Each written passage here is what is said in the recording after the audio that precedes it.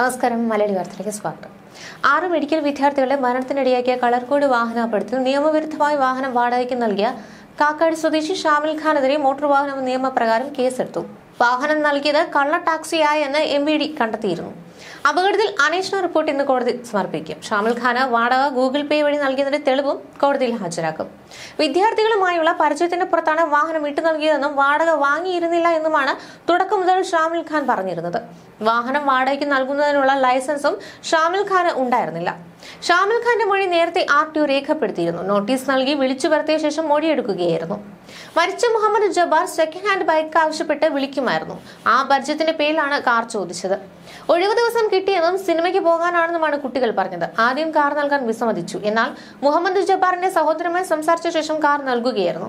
ആറുപേർ ഉണ്ടാകുമെന്നാണ് തന്നോട് പറഞ്ഞത്. പതിനൊന്ന് പേർ ഉണ്ടായിരുന്നെന്ന് അറിയില്ലായിരുന്നു എന്നാണ് അപകടത്തിന് പിന്നാലെ ഷാമിൻ ഖാൻ പ്രതികരിച്ചത്. കഴിഞ്ഞ തിങ്കളാഴ്ചയാണ് വിദ്യാർത്ഥികൾ സഞ്ചരിച്ച Tavera car K S R T C ബസുമായി കൂട്ടിയിടിച്ചത്.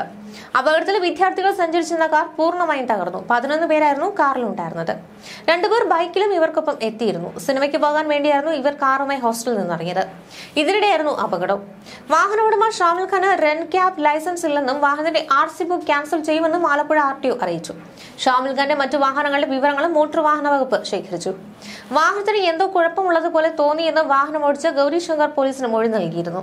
ആലപ്പുഴയിൽ ബസ്സും കാറും കൂട്ടിയിടിച്ചുണ്ടായ അപകടത്തിൽ കാർ ഓടിച്ച വിദ്യാർത്ഥിയെ പ്രതിചേർക്കണമെന്നാണ് പോലീസ് റിപ്പോർട്ട്. കോടതി നിർദ്ദേശപ്രകാരം കാർ ഓടിച്ച ഗൗരിശങ്കറിനെ പ്രതിയാക്കും. പാലക്കാട് സ്വദേശി ശ്രീദേവ് വത്സൻ മലപ്പുറം കോട്ടയ്ക്കൽ സ്വദേശി ദേവനന്ദൻ കണ്ണൂർ സ്വദേശി മുഹമ്മദ് അബ്ദുൽ ജബ്ബാർ ലക്ഷദ്വീപ് സ്വദേശി മുഹമ്മദ് ഇബ്രാഹിം കോട്ടയം സ്വദേശി ആയുഷ് ഷാജി ആൽവിൻ എന്നിവരാണ് മരിച്ചത്. കഴിഞ്ഞ ദിവസമാണ് ചികിത്സയിൽ കഴിയവേ ആൽവിൻ മരിച്ചത്. തിങ്കളാഴ്ച വൈകുന്നേരം ആൽവിനെ സുഹൃത്തുക്കൾ സിനിമയ്ക്ക് പോകാൻ ക്ഷണിച്ചെങ്കിലും ആദ്യം നിരസിക്കുകയായിരുന്നു. തുടർന്ന് കൂട്ടുകാർ നിർബന്ധിച്ചതോടെ ഇറങ്ങാൻ തുടങ്ങുന്നതിന് തൊട്ടു മുൻപാണ് അമ്മ ബീനയെ ഫോണിൽ വിളിച്ച് അനുവാദം വാങ്ങിയത്. ആൽവിന്റെ പോസ്റ്റ്മോർട്ടം നടപടികൾക്ക് ശേഷം വണ്ടാനം മെഡിക്കൽ കോളേജിലാണ് പൊതുദർശനം നടക്കുന്നത്.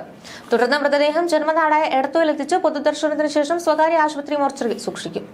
ഞായറാഴ്ച വൈകിട്ട് തലവടിയിലെ മാതാവിന്റെ കുടുംബ വീടായ കറുകപ്പറമ്പ് വീട്ടിലെത്തിച്ചതിനു ശേഷം തിങ്കളാഴ്ച എടത്തുവിലെ പള്ളിക്കൽ ചിറ വീട്ടിലേക്ക് കൊണ്ടുപോകും. തുടർന്ന് ഉച്ചയ്ക്ക് ശേഷം സെയിന്റ് ജോർജ് ഫെറോണ പള്ളി സെമിത്തേരിയിലായിരിക്കും സംസ്കാര ചടങ്ങുകൾ നടക്കുക.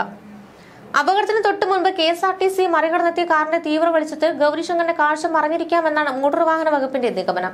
അപകടമുണ്ടായത് തൊട്ടു മുൻപിലെ വാഹനത്തെ മറികടക്കുന്നതിനിടെയാണെന്ന് കാർ ഓടിച്ച ഗൗരിശങ്കർ മൊഴി നൽകിയിരുന്നു. മുൻപിലുണ്ടായിരുന്ന കാറിനെ വലതുവശം വഴി മറികടക്കുമ്പോൾ ഉദ്ദേശിച്ച വേഗം കിട്ടിയില്ല.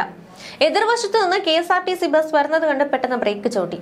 വാഹനം നിയന്ത്രണം വിട്ട് വലതുവശത്തേക്ക് തെന്നിമാറിയാണ് ബസ്സിൽ ഇടിച്ചു കയറിയതെന്ന് ഗൗരിശങ്കർ പോലീസിന് നൽകിയ മൊഴിയിൽ പറയുന്നുണ്ട്. ന്യൂസ് ഡെസ്ക് വാർത്ത